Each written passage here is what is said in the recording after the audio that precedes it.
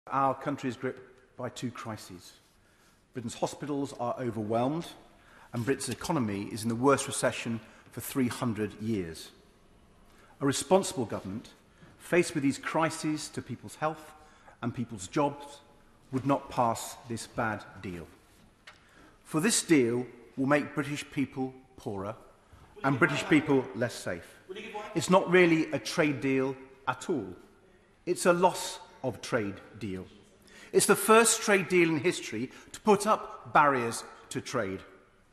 Is that really the government's answer to British business, fearing for their futures, and British workers fearing for their jobs? We were told leaving the EU would cut red tape. But this deal represents the biggest increase in red tape in British history. 23 new committees to oversee this new trade bureaucracy – 50,000 new customs officials, 400 million new forms. Some analysts estimate the cost of this new red tape burden for British business at over £20 billion pounds every year.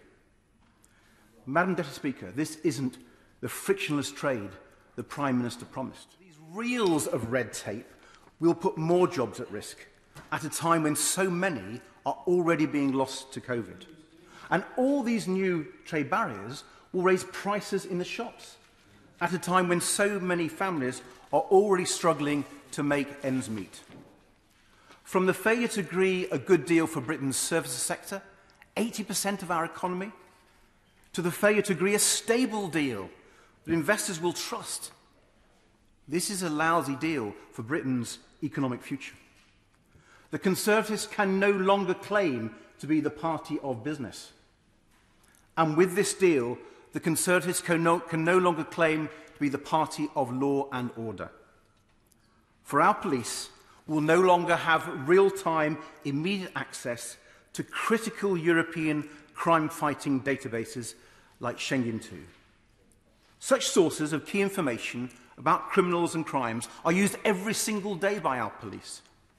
In one year alone, used over 600 million times often in the heat of investigation.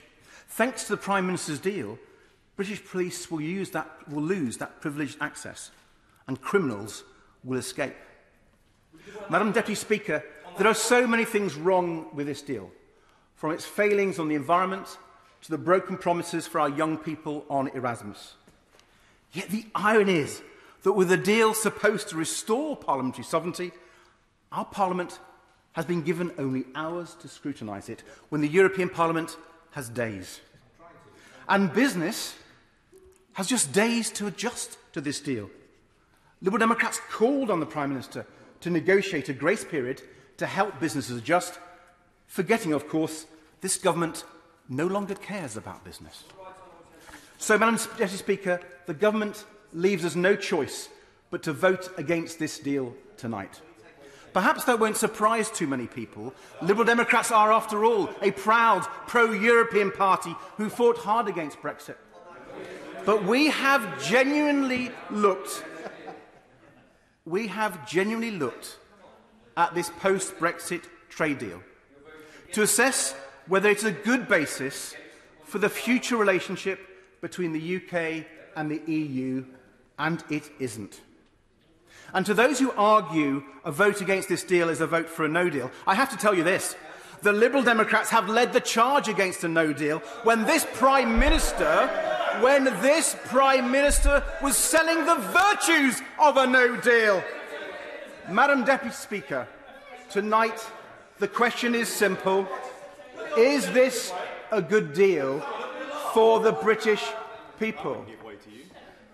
Today, Madam Speaker, the question is, is this a good deal for the British people? A deal that costs jobs, increases red tape, hits our service-based economy, undermines our police and damages our young people's future. It's a bad deal and Liberal Democrats will vote against it.